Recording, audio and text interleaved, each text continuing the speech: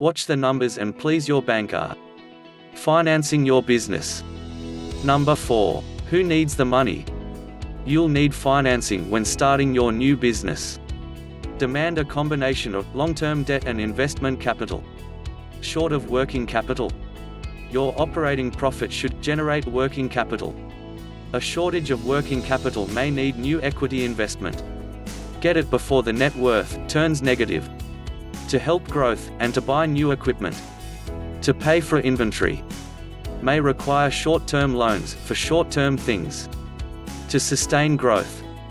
Money can come from new investment, lines of credit, and long-term loans. Next, how will you use the money?